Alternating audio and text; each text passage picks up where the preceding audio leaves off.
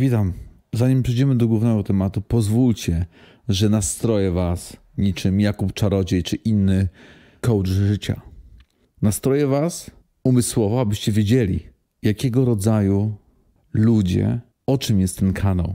Żebyście wiedzieli czarno na białym, o czym my tu rozmawiamy, jaki ten kanał reprezentuje poziom. Więc zapraszam do hipnozy, do projekcji umysłu, do projekcji memów. Piłkę sobie scenę na nasz.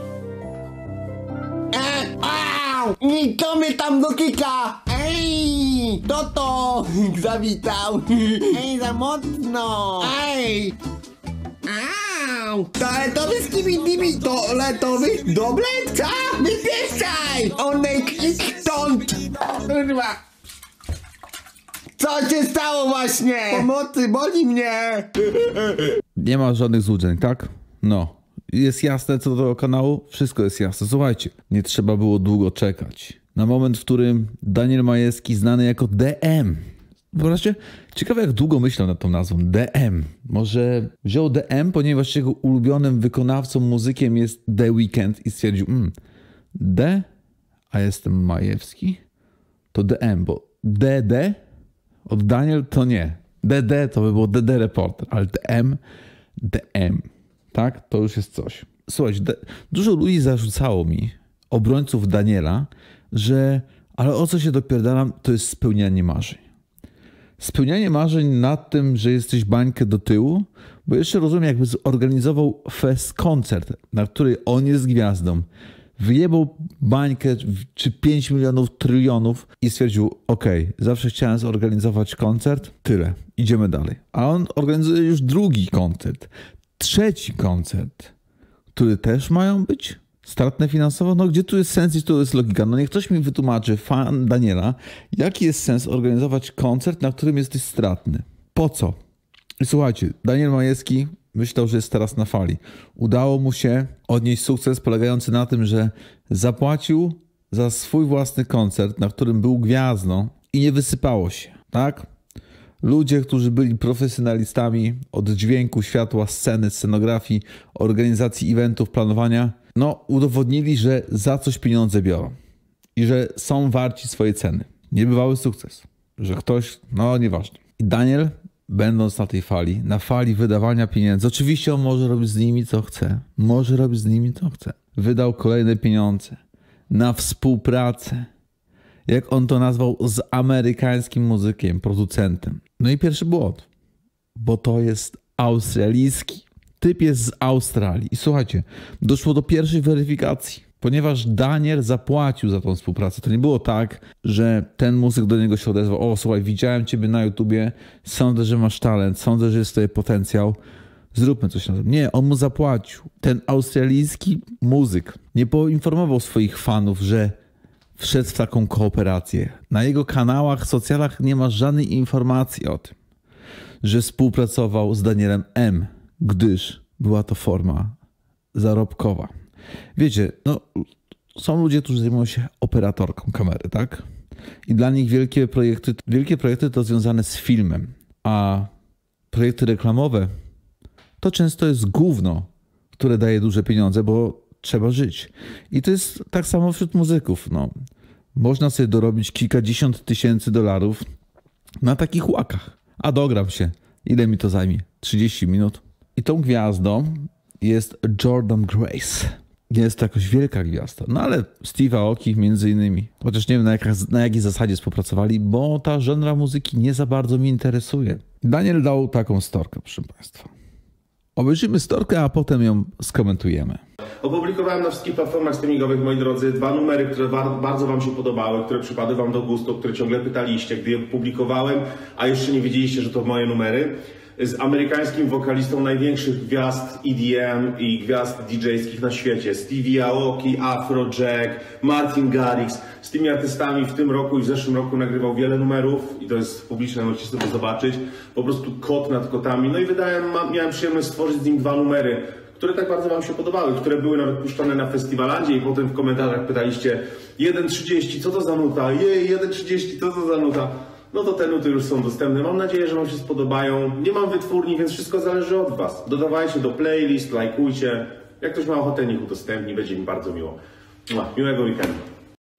Ja jestem tylko ciekaw, na jakiej zasadzie y, została ta piosenka stworzona, no bo z tego co wiem, Daniel raczej nie robi muzyki sam.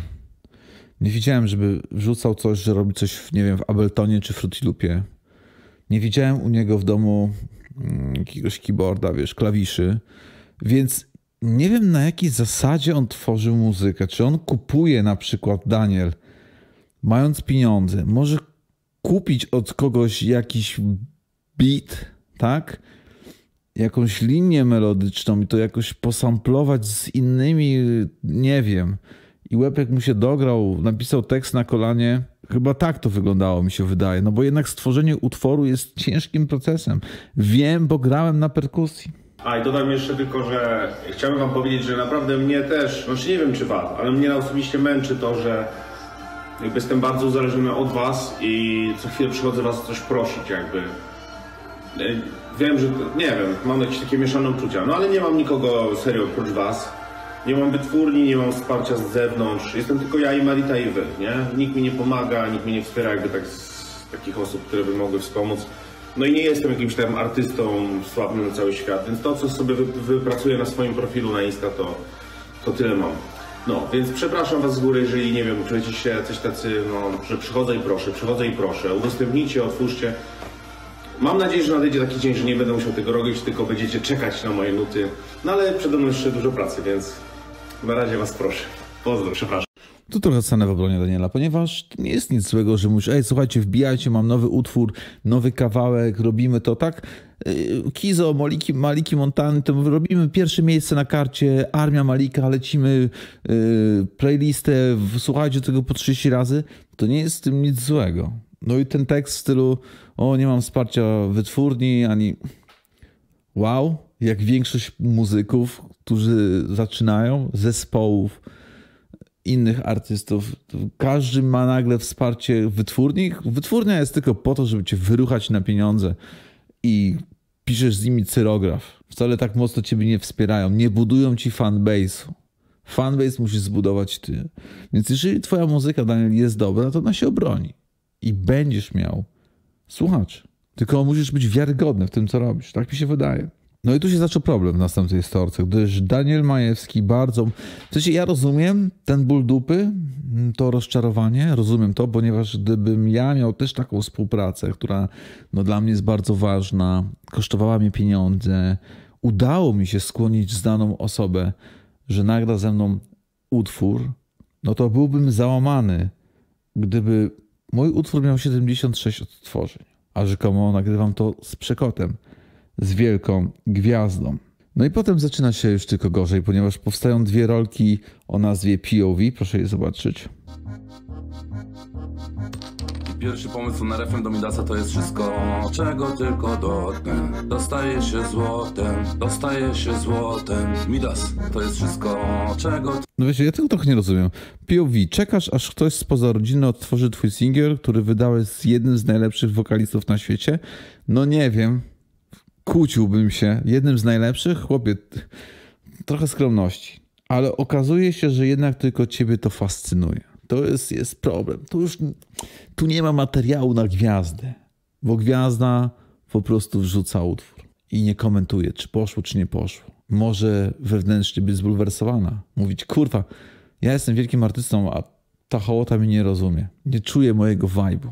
Są za płytcy na to, co tworzę. Ale wątpię, żeby nagrywali jakieś TikToczki. Bo tak jak żenujące zawsze było, gdy ktoś nakręcił chujowy film i ten twórca filmu spotykał się face to face z krytykiem i kłócili się o film. Że nie, bo ty źle zrozumiałeś.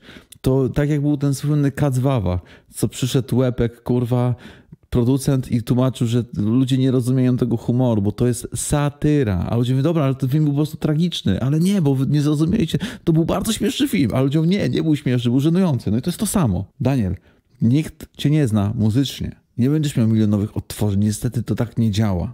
Dodatkowo w dniu publikacji jego dwóch utworów doszło do takiej sytuacji, która może mu dać wymówkę, że to nie dlatego, że ludzie nie znają go jako muzyka, może nie chcą go poznać, może nie interesuje ich to, jaką on robi muzykę, gdyż jest nienaturalny i kupieniem sobie pewnych rzeczy nie, nie kupi się sobie drogi do sławy. No nie zrobisz tego. Była ta awaria Windowsa. Potem mamy następny Reels. Choć dwa ostatnie są potężne, ale nie związane z muzyką. Midas to jest wszystko, czego tylko dotknę. Dostaje się złotem, dostaje się złotem. Midas to jest wszystko, czego tylko dotknę. POV próbujesz wytłumaczyć amerykańskiemu, jest australijskim, mieszka w Nashville, ale nie jest Amerykaninem. Wokaliście z półtora miliona miesięcznych słuchaczy na swoim Spotify, że tysiąc odtworzeń waszych dwóch numerów po trzech godzinach od premiery ma na pewno związek z dzisiejszą awarią Windowsa. Wydaje mi się, że on miał to po prostu w chuju, ponieważ to było dla niego źródło zarobku w stylu zrób, zapomnij, tak? Pewnie ten człowiek, jeżeli oferował swoje usługi Danielowi, ma takich usług bardzo dużo, takich projektów bardzo dużo, więc on nawet nie pamięta, że coś takiego nagrał, nawet się tym nie pochwalił. No i gdyby tej taki, no żenady, no bo to jest e, dziecinne. Czy to jest, waszym zdaniem, nie jest dziecinne, ponieważ te dwa utwory na dzień dzisiejszy na Spotify mają wyświetleń 2183 i 1813.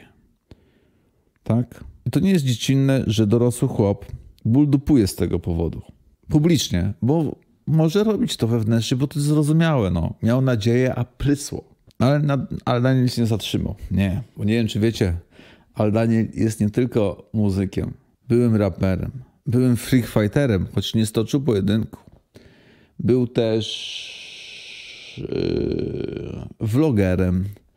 Oczywiście jest biznesmenem cały czas. Pisarzem, chyba napisał książkę to dodatkowo jest też foliarzem. I to takim foliarzem ciężkiego kalibru, ponieważ wierzy w jedną z najbardziej absurdalnych teorii spiskowych, jaką jest chemitrails. I Daniel, nie wiem czy wiesz, ale bycie foliarzem to nie jest brama do bycia gwiazdą, ponieważ dał zdjęcie. Taki tam świeży poranek pod Warszawą. Zdjęcie smugi kondensacyjnej. Następnie fajny, naturalny kolor, tak jakby słońce odbijało się w kałuży z benzyną. Och, wait i dał cytat z Polsatu na temat geoinżynierii. I to jest w ogóle teoria spiskowa, której nie, sensu nie rozumiem. Geoinżynieria. W sensie co? Sterują po pogodą? Po co? Bo pierwsze to chyba miało być, że to opryski są, tak? Że są ciężkie chemikalia zrzucane. No ale osoby, które wymyśliły spisek, oddychają tym samym powietrzem i jedzą z tej samej gleby co my. Więc sami się zatruwają. No nie wiem, wydaje mi się, że to już taka mega odklejka weszła, bo no, nie można było mówić o wielkim sukcesie dwóch singli, bo okazały się klapą. No to trzeba przejść na foliarstwo. Może być tak, że za dwa lata obudzimy się w sytuacji, kiedy Daniel Majewski będzie otwierał Mistrzostwa Świata jako znany DJ.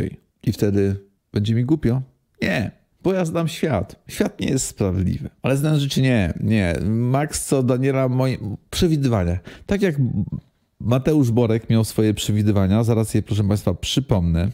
Mateusz Borek miał y, prognozy na temat euro 2024 i było tak, że Francja zwycięży, e, Mbappé będzie najlepszym strzelcem, czarnym koniem będzie Austria, a rozczarowaniem będzie Hiszpania. Czyli możemy się zabawić w taką moją prognozę. Może być taka tratna jak Borka. Ale uważam, że Max, co Daniel Majewski wyciągnie jako DJ, to jeżdżenie po Polsce. Tak? Bo jeżeli Gocha Magikal z Danielem Magikalem potrafią jeździć po Polsce i robić jakieś imprezy, to Daniel też może to zrobić. Bo TikTok i Instagram udowodnił, że nie trzeba mieć żadnego talentu w dzisiejszych czasach, żeby robić nawet objazdowe show. Fagata jest przykładem. I masa innych twórców. Tak? Więc Daniel na pewno może spokojnie robić koncerty po Polsce i na tym zarabiać. Tylko, że problem jest taki, że on podniósł sobie bardzo wysoko poprzeczkę, bo on chce być na Tomorrowland. Moim zdaniem teraz będę czekał tylko na jakieś naprawdę grube oferty, bo pamiętajcie, że ja do 2030 roku dałem sobie jeden cel.